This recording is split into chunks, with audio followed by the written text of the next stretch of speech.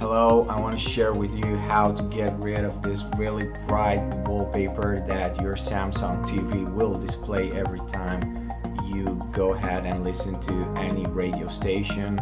First of all, I want to mention that this is a Samsung 7 Series 2019 model, uh, but this solution might also work with other uh, models of Samsung. So uh, first of all, in order to do this, we have to click the settings button on the remote. We go to general settings and click OK. Then we go down to accessibility, click OK here also.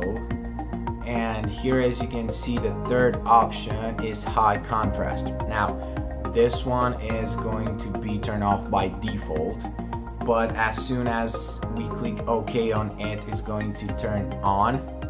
And as you can see, everything got a little bit darker.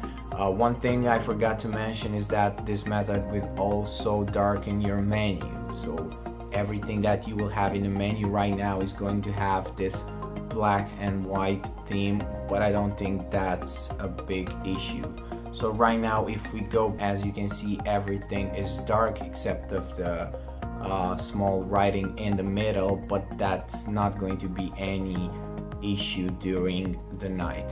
So yeah, this is how you get rid of that uh, really bright wallpaper on your Samsung TV. Thanks for watching. Please subscribe. Bye.